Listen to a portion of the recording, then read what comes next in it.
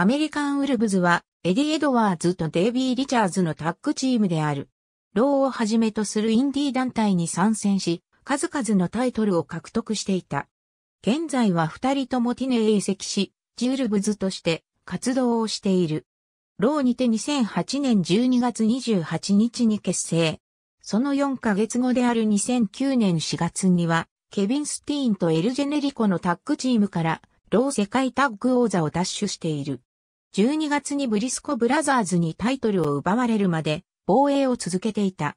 タイトルを落とすと二人は新設された、ロー世界 TV 王座の獲得を目指すようになり、シングルでの活動を優先し、ロー内でのタッグとしての活動を一時的に控えるようになった。2010年に入ると、TBO 王座の初代王者を決めるトーナメントに二人で出場。エドワーズ、エドワーズも決勝戦に残り、エディが激戦を制し、初代王者へと輝いた。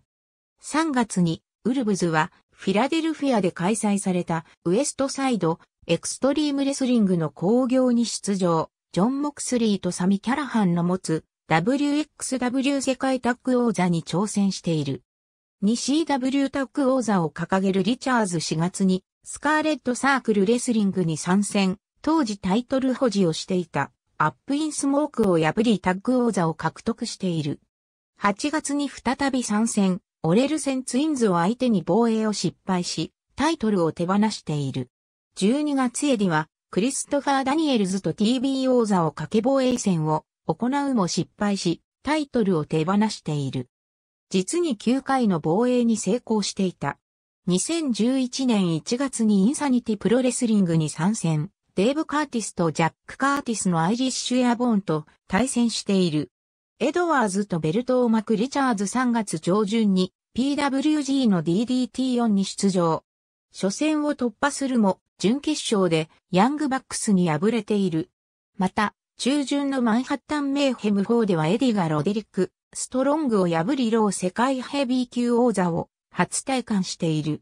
その3ヶ月後のベストインザワールド2011では、エドワーズとリチャーズのタッグパートナー同士でヘビー級王座をかけて対戦をし、リチャーズが勝利を収め初戴冠している。ロー内ではシングル王座に照準を絞っていたためタッグ活動は少なかったが、2012年12月のファイナルバトル2012ドゥームズデーにて、ボビー・フィッシュとカイル・オライリーのタッグを相手に再結成を果たす。2013年に入ると、ジェイ・ブリスコとマーク・ブリスコの持つ、ロー世界タッグ王座に挑戦するが、獲得はできなかった。7月に、アレックス・コズロフとロキー・ロメロのフォーエバー・フーリガンズが、持つタッグ王座に挑戦、試合に勝利し、タッグとして二度目の戴冠を果たしている。勢いそのままに9月にフォーエバーフーリガンズの持つ IWGP ジュニアタッグ王座に挑戦するも獲得には至らなかった。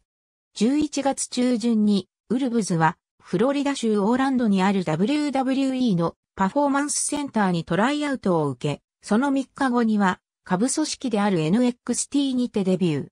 タッグ名はアメリカンウルブズからアメリカンピットブルズに変更。リングネームもリチャーズはデリック・ビリントン、エドワーズはジョン・キャヒルに変更している。初戦にして NXT タッグ王座保持者のコーナーとビクターとノンタイトルでありながら試合をしている。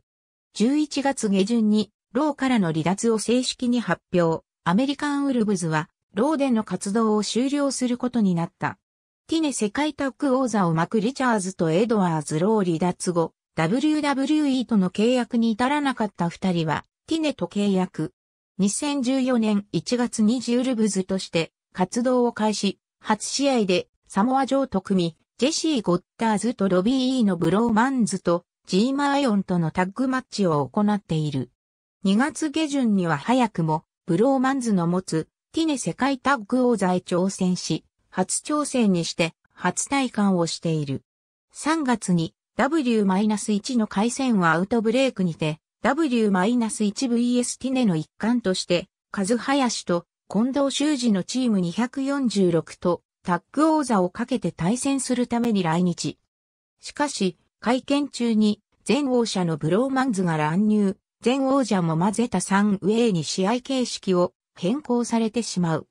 試合ではカズが前王者組に敗れ、タイトルを手放してしまった。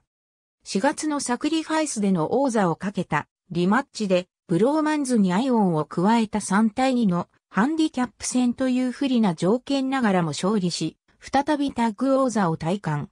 6月のスラミバースリー12では、ウルブスの2人は、ティネ、X ディビジョン王座をかけたラダーマッチに参加するも獲得に至らなかった。7月に再び W-1 に参戦、田中実と金本浩二のジュニアスターズとの王座戦を行い勝利。その後は、ハーディーズとチーム 3D との構想で、両チームが得意とするフルメタルメイヘムに勝利するも、9月にザ・レボリューションに王座を奪われてしまう。しかし、2015年1月末にマット・ハーディーの援護もあり、タッグ王座を奪い返すが、2月にエドワーズの怪我が見つかり、3月に王座を返上している。フォース・オブ・ナチュラルに CW タッグ王者時代。ありがとうございます。